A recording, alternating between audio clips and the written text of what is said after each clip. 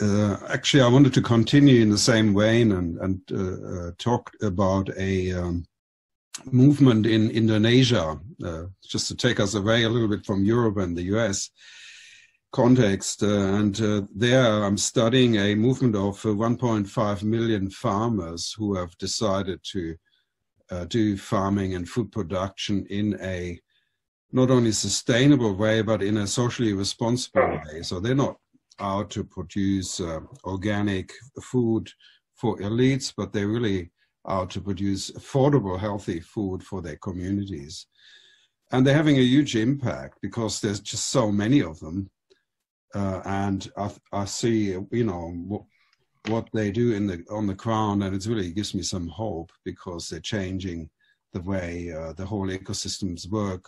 They're reversing some of the damages, and uh, this is major change, major change uh, at, at a local level, but it sums up.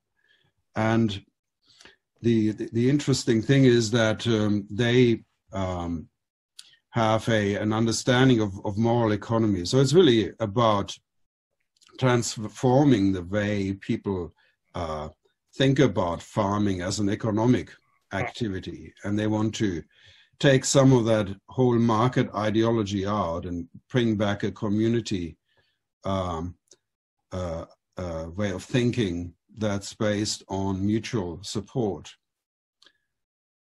So it's, it's quite quite a, a radical shift, and there's so much of this happening. These same farmers uh, are also uh, visiting other countries with the help of La Via Campesina. They have farmer exchanges, so they've just been to uh, to Vietnam and have helped uh, farmers there double their their productivity, and at the same time go organic. So, uh, and now you know it's it's it's also really spreading in Vietnam and, in other places in Southeast Asia that I know about. Also in India, in Sikkim, for example.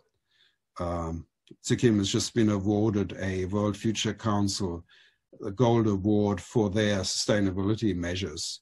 And, and the entire uh, state has become organic. This is massive, you know. I mean, we talk about climate change, but agriculture contributes about a third of uh, to to emissions. So it's really, really significant. And I just wanted to say that these kinds of local actions often go unnoticed. We think about institutions, big organizations, and their their efforts, but we don't see these kinds of uh, uh, uh